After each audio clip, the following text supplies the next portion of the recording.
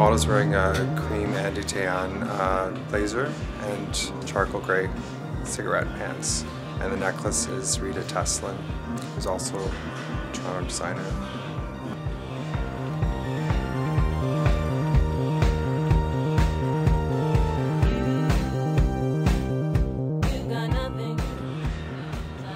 Muted tones, so pale, muted, um, structural.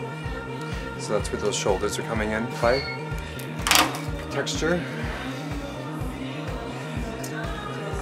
Um, fabric as well. I mean, fabric plays a big part of it, right? We want stuff to catch light.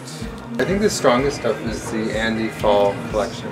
This little leather number. It's beautiful, yeah. It's great. I think it's dangerous to try to separate too much uh, artistic vision between men and women. I think someone who creates art you know, either if he's a man or a woman, I don't think it uh, makes a big difference in the end.